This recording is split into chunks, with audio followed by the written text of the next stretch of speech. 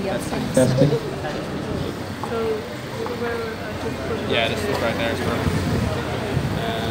Let me know if I get to I'm trying to think of a new tune each time. Like, What know, about the like, Lonesome Boatman? Do you know the Lonesome I don't know that. uh, Right.